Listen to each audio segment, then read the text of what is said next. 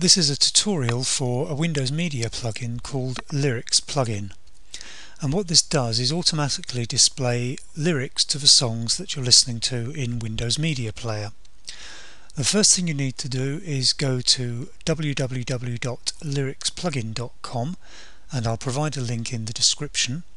When you get there, click Download Now, save the file, add it to small, just 72 kilobytes, so let's clear that.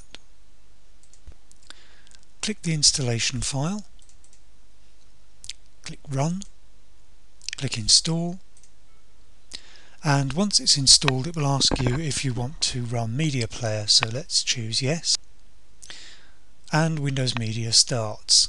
And if you go to Tools, Plugins, you'll find a new plugin called Lyrics Plugin. So let's start a song and I've chosen Like Humans Do by David Byrne and it starts to play and if we go to now playing you'll see the lyrics are being displayed. Now this only works if the lyrics to a song are available on the internet but what happens if they're not? Well you can add them yourself. Now let's open up a file that I know doesn't have lyrics available it starts to play. And instead of the lyrics all we've got is the title and the artist. But if you click edit and it does take a while for anything to happen you can add those lyrics. So we click the edit. And a box pops up with the title and the artist.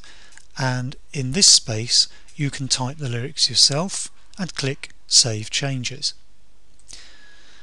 that will make the lyrics available not only to you but also to anyone else who's using this plugin. Now you may not be using Windows Media Player but if you're using Winamp there's also a version available or if you're using both why not download both and use both. Um, now I have to say one thing and that is that I haven't found a way of uninstalling the plugin. There is no entry in add and remove programs. But if you decide you don't want to use the plugin you go up to tools plugins and just untick it and that will disable it. So I hope you found this interesting. Uh, it's just a bit of fun really if you fancy some Saturday night karaoke. Uh, don't forget to rate and comment and if you like my videos please subscribe. Thanks